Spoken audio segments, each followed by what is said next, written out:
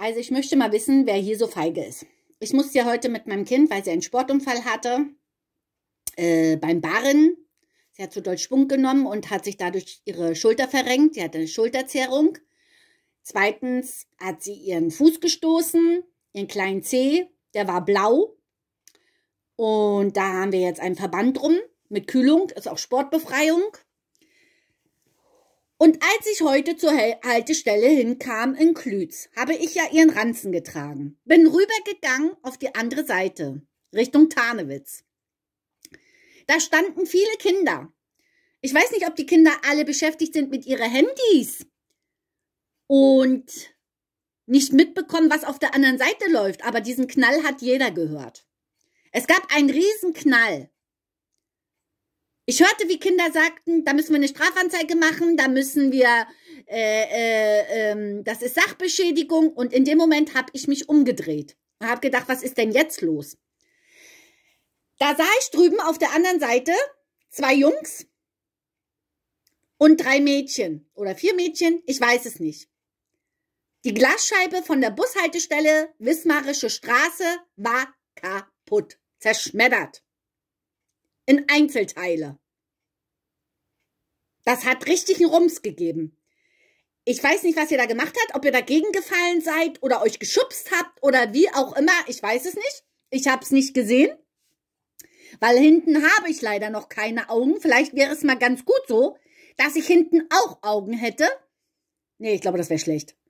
Jedenfalls war ich mit meinem Kind beschäftigt, weil sie halt diesen Schulunfall hatte und ich nicht informiert wurde.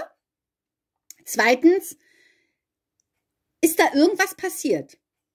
Aber komischerweise, die Kinder, die dann auf der Seite standen Richtung Tarnewitz, auf einmal haben sie nichts mehr gesehen? Was ist da jetzt los? Seid ihr zu feige, um auszusagen? Was ist denn da jetzt passiert? Warum habt ihr gebrüllt, da müssen wir äh, Sachbeschädigung anzeigen? Was ist denn da passiert? Ich hab's nicht gesehen. Ich stand mit dem Rücken zu dieser Bushaltestelle. Aber diesen Knall habe ich noch in den Ohren. Da kann ja einer nur mit einem Hammer gegengehauen haben. Oder mit einem Stock. Oder mit einem Stein. Oder ich weiß es nicht. Das ist Panzerglas.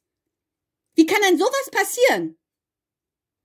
Und ich dachte wenigstens, die Kinder, die da vor Ort sind, die das mitbekommen haben, die Mädchen und die Jungs, rufen dann irgendwo an und sagen Bescheid, dass die Scheibe entfernt werden soll.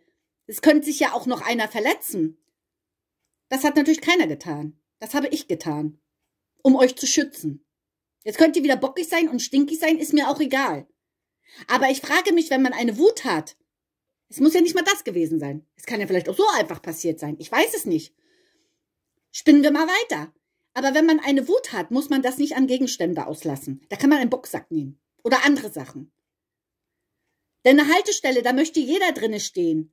Und wir haben uns gefreut, dass wir Haltestellen haben, wo wir uns unterstellen können, wo wir nicht frieren müssen.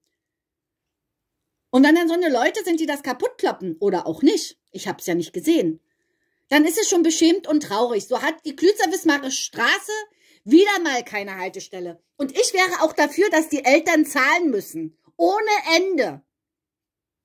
Für Randalismus oder Vandalismus. Nennt sich das? Ja. Und komisch, dass es keine Zeugen mehr gibt. Keiner hat es gesehen. Komisch. Ist schon komisch in diesem Boltenhagen und Klütz, muss ich ganz ehrlich sagen. Keiner hat es gesehen. Wer war es denn nun? Ich kann es nicht sagen. Ich stand mit dem Rücken zu euch. Ich habe nur zwei Jungs gesehen, wo ich mich umgedreht habe und drei Mädchen. Große. Man sollte wenigstens den Hintern in der Hose haben und dazu stehen. Auch wenn es aus Versehen passiert ist. Zu sagen, ja, ich war's. Den Hintern sollte man wenigstens in der Hose haben. Aber ich glaube, den hat heutzutage keiner mehr. Es ist traurig und beschämt. Wieder eine Haltestelle kaputt in Klütz. Und keinen interessiert's.